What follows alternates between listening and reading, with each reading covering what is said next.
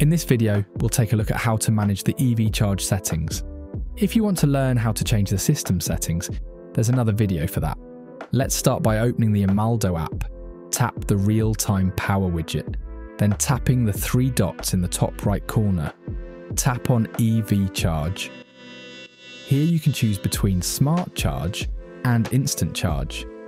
If you have chosen Smart Charge, you can choose either Scheduled Charge or Lowest Price. Scheduled charge will charge your EV at a fixed time each day, for example, each night. Click on Settings to choose the time you prefer.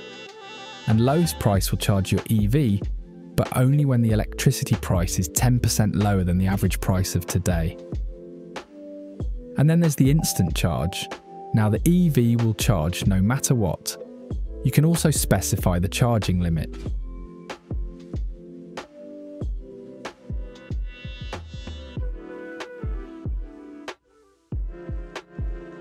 I hope you found this tutorial useful and have learned something new. Remember to check out some of our other tutorials if you need more help.